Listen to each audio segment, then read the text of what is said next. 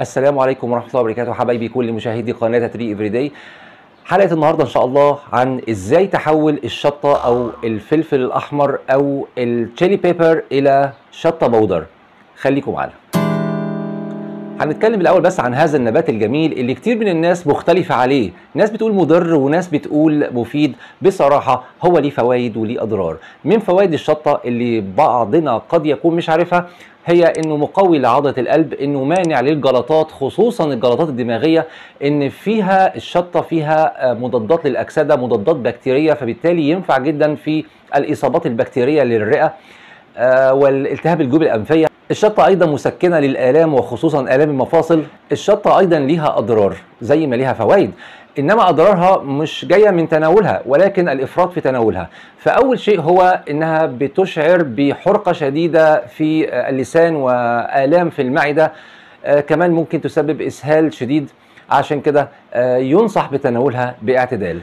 ودي كانت مقدمة بسيطة عن فوائد الشطة وأضرارها. ودلوقتي هنتفرج إزاي نحول الشطة الحمراء دي إلى شطة بودر. خليكم معانا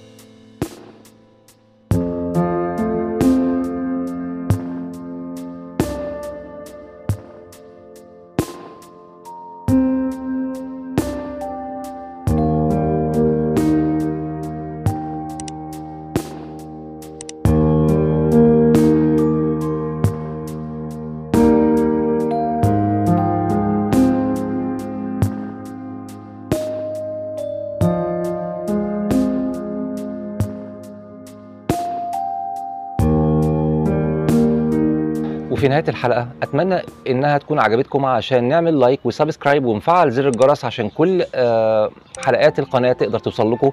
شكرا لكم والسلام عليكم ورحمة الله وبركاته.